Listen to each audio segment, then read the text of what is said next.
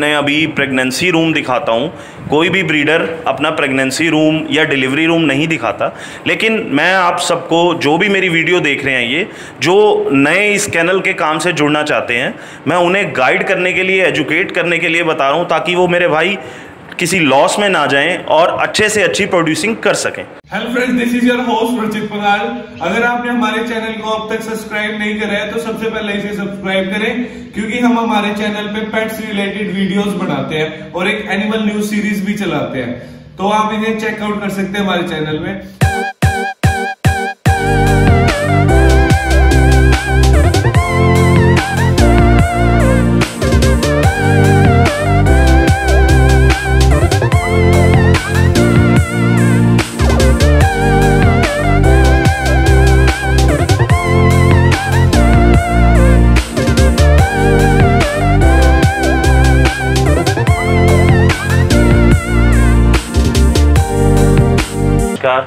मैं सुनील भाटिया भाटिया कैनल का ऑनर हमारा कैनल जो लोकेटेड है नीलोखेड़ी डिस्ट्रिक्ट करनाल, हरियाणा में।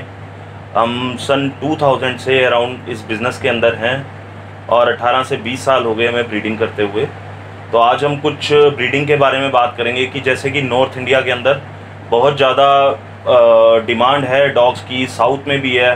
बहुत ज़्यादा प्रचलन चल रहा है डॉग्स का।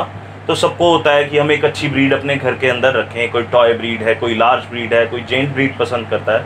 तो हम यहाँ पर अपने कैनल पे ब्रीड करते हैं। ब्रीडिंग बाहर से डॉग इंपोर्ट कराते हैं, उसके बाद ब्रीडिंग यहाँ पर करते हैं। अठारह बीस साल से हम यहाँ पर ब्रीडिंग कर रहे हैं। तो आजकल बहुत नए नए लोग, कुछ यंग लड़के, बहुत से लोग इस बिज़नेस से जुड़ रहे हैं। लेकिन उनको ये नहीं पता कि हमें कितने डॉग रखने चाहिए स्टार्टिंग में कैसे रखने चाहिए। उनका जो टेक केयर है, वो कैसे करना चाहिए? क्या उनका वैक्सीनेशंस होता है? और कैसे उनका रख रखाव होता है? उसके बारे में उनको ज्ञान नहीं होता। कुछ ट्रेडर के पास जाके वो डॉग्स ले लेते हैं, लेकिन एक, दो, तीन साल के बाद ही या तो ब्रीड का स्टैंडर्ड बिगाड़ देते हैं, या ब्रीड को ख़राब कर देते हैं और ख़ुद भी काफ़ी लॉस में चले जाते हैं। तो आज मैं यही बताऊँगा कि आपने जो भी, अगर ये कैनल का काम स्टार्ट करना है आपने तो अच्छे ब्रीडर के पास जाइए। एक, दो, चार लोग according to your budget according to your capability according to your space आप वो लीजिए। उसके बाद, उस ब्रीड के बारे में अच्छा सा ज्ञान प्राप्त कीजिए और उसके बाद आप ब्रीडिंग स्टार्ट कीजिए। ब्रीड ये आप देखिए कि आपको पपी से लेना है या सेमी एडल्ट लेना है या सीधा ही एडल्ट परचेज करना है। आप कम से कम दो या तीन फीमेल्स रख सकते हैं स्टार्टिंग में।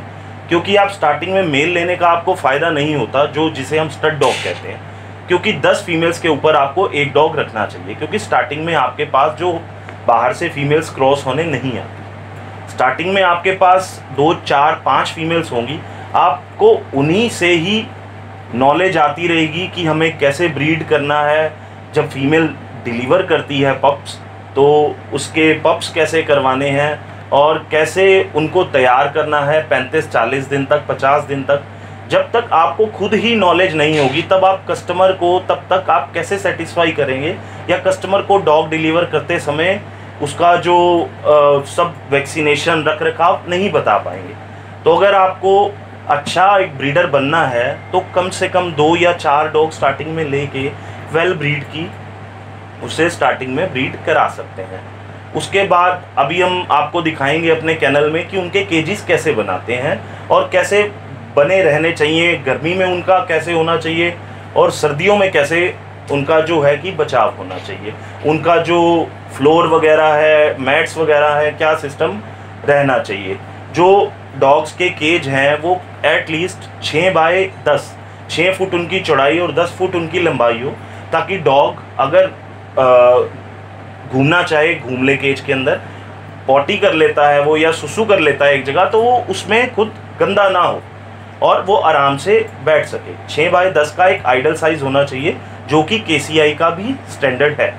डॉग को प्रॉपर टाइम टू टाइम उसकी ब्रशिंग होनी चाहिए। अगर गर्मी है तो गर्मी में आप दिन में तीन बार बात करा सकते हो डॉग को। सर्दी है, सर्दी में वीक में एक बार या धूप निकले तो आप उसको बात करा सकते हो। बाकी जो कैनल का जो बनाने का स्ट्रक्चर है, वो हम अभी आपको अपने कैनल में दिखाएँगे कि कैसा स्ट्रक्चर डॉग्स के लिए तैयार करना चाहिए।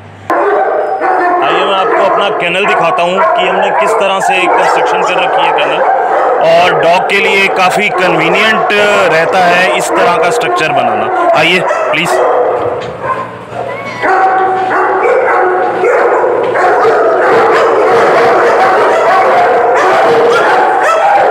ये जिस एक साइज़ छः बाई दस का तकरीबन साइज़ है ये। लंबा है।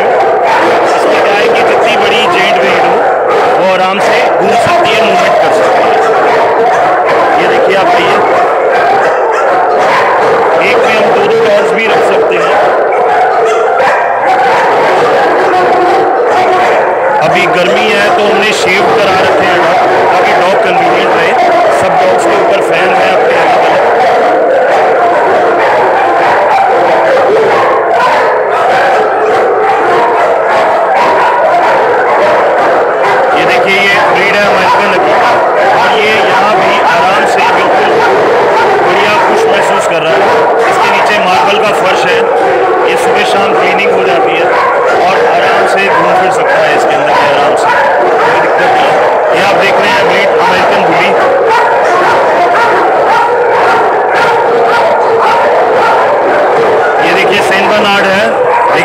इसके बाल बिल्कुल शेव करा रखे हैं और डॉग्स के, ताकि डॉग्स हैं जो गर्मियों के डॉग्स को उसके हेयर्स की वजह से कोई स्किन इशू ना हो, कोई स्किन की प्रॉब्लम ना हो, इसलिए हमने इन्हें शेव करा रखा है और टाइम टू टाइम इनकी जो स्किन की मेडिसिन होती है, इनको टिक फ्लीज ना लगे, इसमें वो लगा दी जाती है और ये जो हमने मार्बल का फ्लोर लगा रखा है, ये इसीलिए लगा रखा है क्योंकि कच्ची मिट्टी के ऊपर सबसे ज़्यादा डॉग्स को टिक्स का है।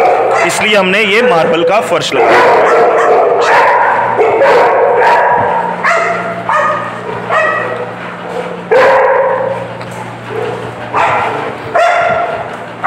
इंग्लिश मैस्टिफ है। अभी 18-19 महीने का हो गया है। ये smooth hair Saint Bernard short coat में सेंट बर्नार्ड कुछ लोग कहते हैं कि हमें बड़े बालों वाला सेंट बर्नार्ड नहीं लेना, लेकिन वो सेंट बर्नार्ड लवर होते हैं तो उनके लिए हमने ये short hair Saint Bernard America से इंपोर्ट कराया और बहुत अच्छे पपी प्रोड्यूस करता है ये। मीटिंग के लिए भी अवेलेबल है, कोई भी आके करा अच्छी प्रूवन फीमेल ये हमारे लॉन्ग हेयर सेंट बर्नार्ड है, इनके सबके हमने हेयर्स कटा रखे हैं। अभी हेड लेकिन इनके जो हेड हैं, वो आपको दिख रहे होंगे एकदम प्रॉपर मार्किंग प्रॉपर क्वालिटी हर चीज़। ये इंग्लिश मैस्ट्री फीमेल है अभी। लास्ट मंथ इसने लीटर दिया था और ऑलमोस्ट सब पपीज सेल हो गए हैं।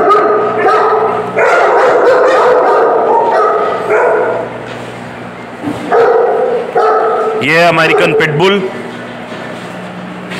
वो देखिए, पीछे वो कूलर चल रहे हैं बड़े। जो डॉग जो पूरे शेड को कूल करते हैं। इसमें बहुत बड़ी बड़ी मोटर्स लगी हुई हैं। और वाटरफॉल पानी का बहुत अच्छा जो है पंप लगा रखे हैं, ताकि जो अंदर टेम्परेचर है गर्मी में गर्मी में, लू में टेम्परेचर मेंटेन रहे। डॉग्स को हीट स्ट्रोक ना हो, क्योंकि जो ये गर्मी का मौसम होता है, जिसमें ये लू वगैरह चलती है तो इसमें ये कूलर ही डॉग्स को जो है उनका जो टेम्परेचर है, वो डाउन रख सकते हैं। बाकी आप ये कैनल देख रहे हैं, ये इसके जो कैबिन्स हैं कैबिन्स के बाहर नालियाँ बना रखी हैं, ताकि डॉग्स कोई अंदर जो पॉटी कर देता है तो वो पॉटी आराम से साफ़ करके और सीवरेज तक पहुँच जाए और डॉग कोई गंदा ना हो। इसके पीछे हमने ग्राउंड बना रखा है जहाँ पे नॉर्मल डॉग्स घूमते हैं सुबह शाम को इवनिंग वॉक के लिए। वो मैं दिखा देता हूँ आपको वैसे। ये पीछे जगह है, स्पेस छोड़ रखा है हमने, जहाँ पे डॉग्स सुबह शाम घूम लेते हैं।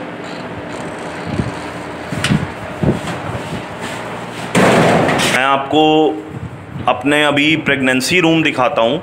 कोई भी ब्रीडर अपना प्रेगनेंसी रूम या डिलीवरी रूम नहीं दिखाता। लेकिन मैं आप सबको जो भी मेरी वीडियो देख रहे हैं ये, जो नए इस कैनल के काम से जुड़ना चाहते हैं, मैं उन्हें गाइड करने के लिए एजुकेट करने के लिए बता रहा हूँ ताकि वो मेरे भाई किसी लॉस में ना जाएँ और अच्छे से अच्छी प्रोड्यूसिंग कर सकें। आइए प्लीज़ ये देखिए, ये हमने कैनल बना रखे हैं तो कैबिन बना रखे हैं डॉग्स के, चार बाय चार के। इसके अंदर क्या है कि हम फीमेल्स को जब रखते हैं तो फीमेल जैसे कि आपने मेरा बड़ा कैनल देखा होगा, उसमें वो क्या है कि मूवमेंट ज़्यादा होती है उछल कूद बहुत ज़्यादा करती हैं, जिस वजह से वो कई बार कंसीव नहीं कर पाती। लेकिन यहाँ पे हमने छोटे कैनल बनाए हुए हैं, आप ये देख रहे हैं, ये फीमेल्स दो कंसीव हैं बिल्कुल। अभी इन्होंने अपने निप्पल्स जो हैं शो कर दिए हैं, ये दोनों गोल्डन कलर की फीमेल हैं और मेरे चैम्पियन डॉग से क्रॉस्ड हैं। आइए। अब देखिए, जैसे यहाँ से एक फीमेल अभी मैं आपको दिखाऊँगा, उसकी डिलीवरी हो गई है, वो यहाँ से जा चुकी है। तो ये हमने कैनल ब्लीचिंग पाउडर से क्लीन कर दिया है, ताकि कोई भी दूसरी फीमेल आए यहाँ पे तो उसको, उसका कोई इन्फेक्शन या कोई उसको, उससे इन्फेक्शन ना हो। आइए, अब आपको दिखाता हूँ, ये अमेरिकन अकीता। ये हमने टेन डेज़ हो गए मेट करा रखी है फीमेल अमेरिकन अकीता। जो आपने डॉग देखा है मेरा अंदर Indian champion Joy son of American import ये उसी से मेट हुई हुई है। ये यहाँ ला के हमने कैनल में रख दिया ये देखिए स्मूथ हेयर सेंट बर्नार्ड ये भी अभी फीमेल क्रॉस कराई है और ये भी छोटे कैबिन में रख दी है ताकि यहाँ पर फीमेल्स ज़्यादा मूवमेंट ना करे, ज़्यादा उछल कूद ना करे और आराम से कंसीव हो।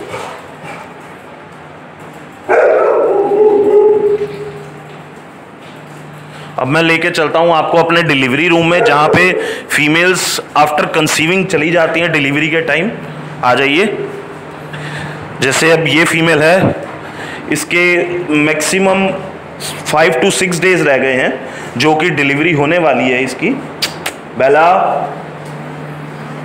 ये बैठी है आराम से। ये सेंट बर्नार्ड है। इसने अभी दो तीन दिन पहले ही पपीज दी। ये हमारे कुछ रेडी पपी पड़े हुए हैं जो लास्ट लीटर के थे, जो फीमेल्स बड़े कैनल में चली गई हैं। ये उनके कुछ तीन चार पपीज़ रह गए हैं, बाकी ऑलमोस्ट स्टॉक सब सेल हो चुका है। ये शॉर्ट हेयर सेंट बर्नार्ड है। अगर किसी को चाहिए हो तो इसमें एक मेल और दो फीमेल्स लेफ़्ट हैं हमारे पास। एक लेब्राडोर का मेल लेफ़्ट है लास्ट लीटर में। तो वो फोर सेल अवेलेबल है, अगर किसी को चाहिए हो तो। Short hair Saint Bernard Indian champion Joy ये अमेरिकन इंपोर्ट का बेटा है डायरेक्ट, और इस ब्रीड में दो कोट आते हैं, एक वुली कोट और एक सिंगल कोट। ये सिंगल कोट में है, क्योंकि इंडिया का वेदर ऐसा नहीं है कि वहाँ पर, यहाँ यहाँ पर वुली कोट जो आसानी से सरवाइव कर सके। क्योंकि कोट कंडीशंस और जो वेदर इश्यूज़ है, उसकी वजह से वुली कोट में प्रॉब्लम्स आती हैं। तो ये जो डॉग है हमारा सिंगल कोट में है, और कई लोगों का जो गलत फहमी है कि अकीता बहुत एग्रेसिव होते हैं। ये बहुत ही समझदार नोटी डॉग हैं और गार्ड डॉग भी बहुत अच्छा है। और इसका आप देख रहे हैं, ये मैक्सिमम ह्यूज हाइट में है हमारे पास। डॉग कुछ लोग अकीता का स्टैंडर्ड ख़राब कर रहे हैं, बहुत अकीतास बेच रहे हैं, लेकिन बहुत छोटे छोटे साइज़ के वो अकीता बनते हैं। फिर लोग कहते हैं कि ये क्या है? ये देखिए साइज़ इसका।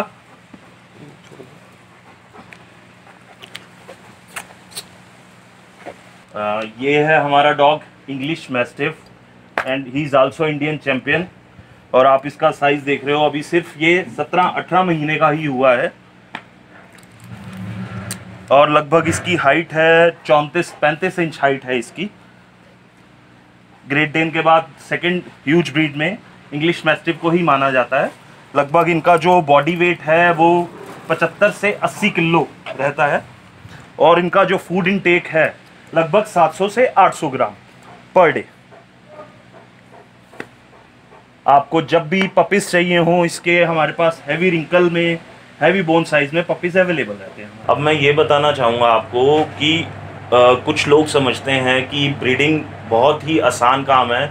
हमने एक फीमेल ली उसे मेट कराया एंड पपीज़ हुए हमने सेल किए दैट्स ऑल छुट्टी। लेकिन breeding is not a easy task एक अच्छी फीमेल लेके उसके लिए एक अच्छा मेल ढूंढना या तैयार करना मीटिंग के लिए। उसके बाद जब पप्स होते हैं तो उनको पप्स को एक महीने तक हमें सारा दिन, सारी रात देख रेख करनी पड़ती है। उसके बाद जाके पप्स तैयार होते हैं और उसके बाद जाके उन्हें जो क्या है कि अच्छे कस्टमर तक पहुँचाया जाता है। कुछ लोग सोचते हैं कि बस ब्रीडिंग कराई हमने। और पपीज़ हुए, कैसे भी हुए, जो भी हुए मार्केट में दिए और छुट्टी। लेकिन ऐसा नहीं है फीमेल जब ऑन सीज़न होती है ऑन हीट होती है, उसका प्रॉपर डॉक्टर चेकअप करा के, उसका जो हार्मोन लेवल है चेक करा के, उसके बाद उसे मेट कराया जाता है। उसके बाद उसके जो पप्स होते हैं, दिन रात जा के मदर फ़ीड करा के और उसके बाद सैरालेक पे डाला जाता है, उनको फिर डॉग फ़ूड खिलाया जाता है। पहली वैक्सीनेशन दी जाती है पपी डीपी उसके बाद आगे का जो सारा प्रोसेस है, वो पपी को तैयार किया जाता है। और मैं ये बताना चाहूँगा साथ में आपको, अगर आप अच्छे से ब्रीडिंग कर रहे हैं, सबसे फ़र्स्ट स्टेप है आपका डॉग ब्रीडिंग का। अगर आप अच्छे से ब्रीडिंग कर रहे हैं और आपके पपीज़ में क्वालिटी दिखती है हेल्दी रहते हैं आपके पपीज़ तो आपको मार्केट में उसे सेल करने की मशक्क़त नहीं रहती। आप एक लीटर दो लीटर जब सेल करेंगे, उसके बाद कस्टमर में आपका जो वो विश्वास है कस्टमर का, आपके ऊपर पक्का हो जाएगा और आपका एक ब्रांड नेम बन जाता है, उसके बाद आप अपने पपीज़ आसानी से सेल कर सकते हो। आपको मार्केट के अंदर किसी जैसे और पोल्ट्री बिज़नेस में या डेयरी बिज़नेस में आपको मिल्क बेचने के लिए या कुछ भी मंडी जाना पड़ता है, ये प्रोसेस करना पड़ता है, वो इसमें ऐसा कुछ नहीं है। इसमें अगर आपकी ब्रीडिंग लेवल अच्छा है, आप अच्छे पपी प्रोड्यूस कर रहे हो एक, दो लीटर, तीन लीटर आपने जब बेच लिए, कस्टमर जो क्या है, फिर आपके पास रेफरेंसेस से आता है कि हमें वहाँ से पपी लेना है, हमें उस कैनल से पपी लेना है, वहाँ का पपी अच्छा है तो ऑटोमेटिक आपका प्रॉफिट इंक्रीज होगा। बस फ़र्स्ट ये है कि आपकी ब्रीडिंग अच्छी होनी चाहिए और आप कस्टमर को चीट मत करो कस्टमर को अच्छा पपी दो, जो भी दो बता के दो।